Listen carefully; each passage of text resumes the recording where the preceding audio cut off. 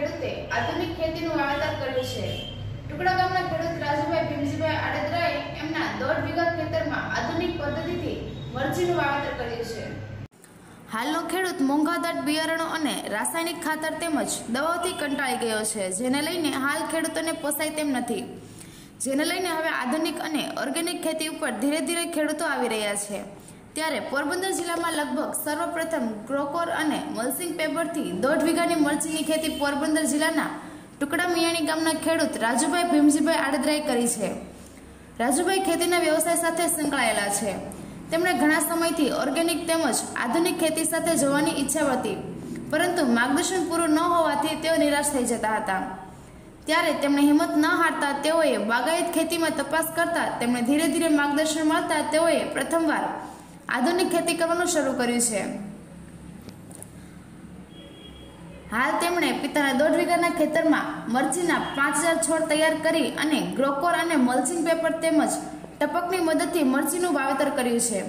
ત્યારે કદાચ પોરબંદરમાં સર્વપ્રથમ આવી મરચીનું આધુનિક વાવેતર કર્યું હોવાનું રાજુભાઈ જણાવ્યું હતું.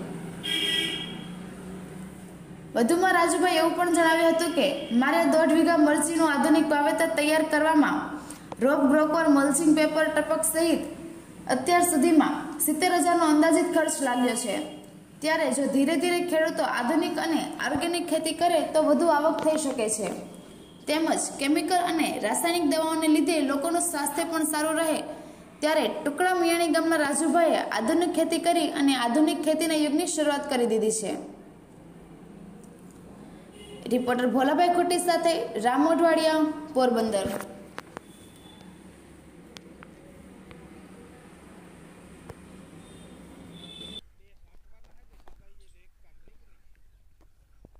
કા રામ કાકા કયું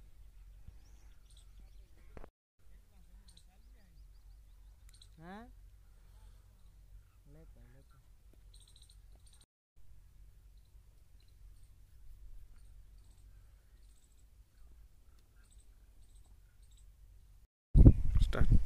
હું રાજુ ભીમા ઓળેદરા ટુકડા મિયાણી ગામનો ખેડૂત અને મલ્ચિંગ પેપર અથવા ગ્રો કવરમાં મરચી કરી છે અને ટપક સિંચાઈ દ્વારા કરી છે કે જેનાથી પાણીનો વ્યય ઓછો થાય પાણીનો બગાડ ઓછો થાય અને ઓર્ગેનિક ખેતીનો વિચાર આવ્યો.